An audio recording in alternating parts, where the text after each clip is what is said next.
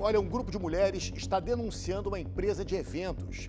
Elas contrataram vários serviços e estão dizendo que ficaram no prejuízo de quase 100 mil reais. Olha aí. Imagina planejar uma festa de casamento durante um ano e às vésperas do grande dia descobrir que algo pode dar errado. Ela tirou minha paz total. Tirou minha paz total de sono. Um momento que você diz que tem que ser um momento único de preparação e ela, tipo, destruiu. Essas mulheres se dizem vítimas de um golpe de uma empresa de cerimonial especialista na contratação de músicos para eventos. A maioria são casamentos e aniversários de 15 anos. Eram três músicos e uma voz por 950 reais. Aí ela ficava sempre pressionando, mandando mensagem, aí vamos fechar, tem outra noiva, olha, vem, ó, o prazo vai acabar.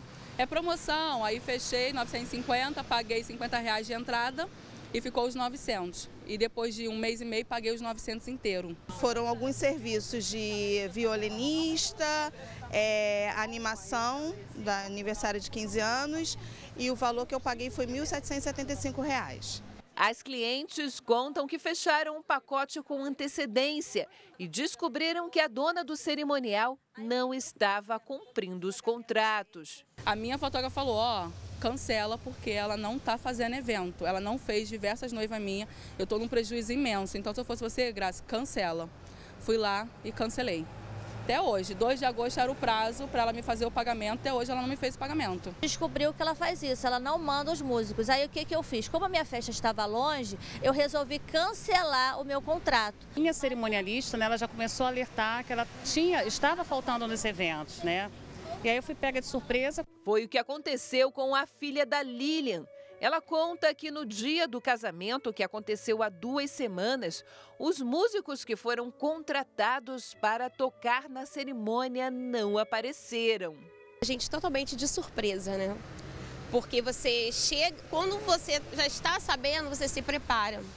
A gente chegou naquele lugar, a gente levou um baita susto, porque a gente sonha, o casamento é um sonho.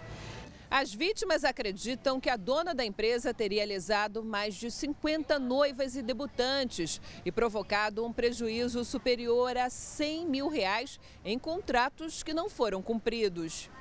E as vítimas denunciam que não estão sendo reembolsadas pelo cancelamento do contrato. Ela falou: não, tudo bem, então a gente cancela, você perde 30% do seu valor e a gente eu te pago o restante daqui a 30 dias. Então fizemos um novo contrato de cancelamento, isso foi em maio, eu estou esperando o meu valor até hoje.